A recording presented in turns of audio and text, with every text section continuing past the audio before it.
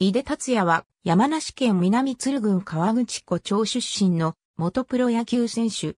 2007年より福岡ソフトバンクホークスのコーチとなり、現在は2軍外野守備走塁コーチを務めている。川口湖南中学から吉田高校に進み、エースとして3年夏に選手権大会に出場。1回戦では小松島西、2回戦では前田智則を要する熊本校をそれぞれ関東で破っている。高校卒業後は社会人野球の日本通運に進み、外野手に転向。3年目の1992年には都市対抗の初戦で中堅手としてスタメン出場し、先制本塁打を放っている。1993年はアジア選手権の日本代表に選ばれ、社会人ナンバーワン野手という評価を得て西武、ヤクルト、巨人の3球団を希望し、特に西武とは一時ほぼ合意に達したと見られていた。しかし指名の確約に至らなかったことから2位指名という条件で強く誘ってきた日本ハムを逆指名した。同年のドラフト会議において、日本ハムに2位指名され、契約金と年俸それぞれ1億3000万円、1200万円で入団契約を結んでいる。日本ハム時代総力と強権は入団前からプロでも一戦級のレベルにあると言われたが、1年目は一軍出場はできなかった。2年目の1995年に一軍出場を果たすと、打率228、9本塁打と不振だったが129試合に出場し中堅手の定位置を確保した。1996年は初めてシーズン100安打を放ち、打率254と前年より確実性を見せた。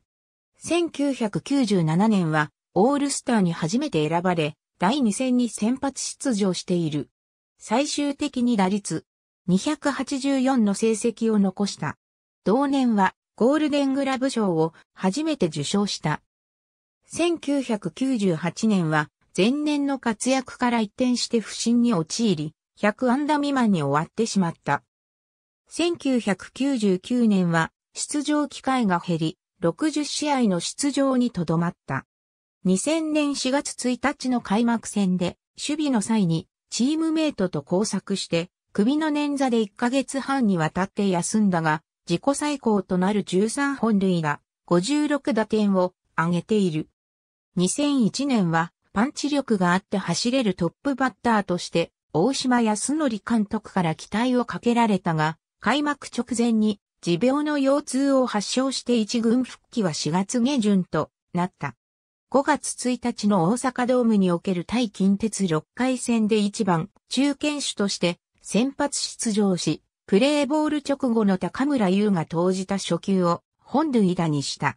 その後両チームとも得点できず、日本ハムがプロ野球史上初の初級本塁打による1から0の勝利を達成している。同年もパンチ力を見せ、11本塁打を放ち、打率も自己最高の288を記録した。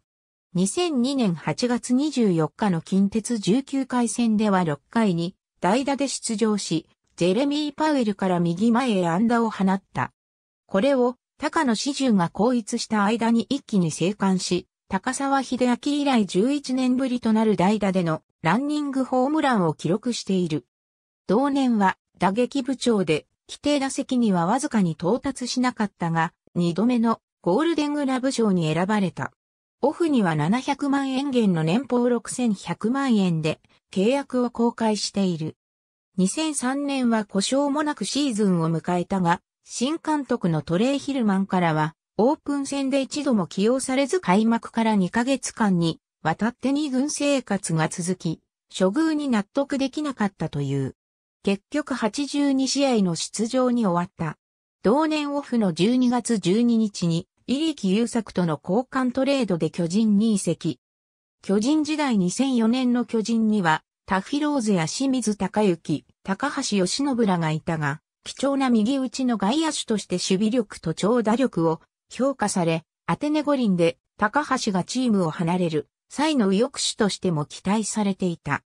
シーズンに入ると守備要員として起用されたが、打撃の方は打率043と振るわず、41試合の出場に止まり10月7日戦力外通告を受け、わずか1年で退団した。同年12月9日に大英へ移籍し、年俸2200万円で契約を結んでいる。ソフトバンク時代移籍1年目の2005年は、守備固めや大左投手の先発としても起用され、77試合に出場した。だが打撃では、182と振るわなかった。翌2006年は一軍出場なしに終わり、この年のオフに現役引退を表明した。同年10月18日にソフトバンクの2軍外野守備走塁コーチに就任することが発表されたが、その1ヶ月後の同年11月26日に、五十嵐明人が招聘されて2軍外野守備走塁コーチを務めることが決定したため、1軍外野守備走塁コーチへの昇格が発表された。2013年は3軍外野守備走塁コーチ、2014年は2軍外野守備走塁コーチを務める。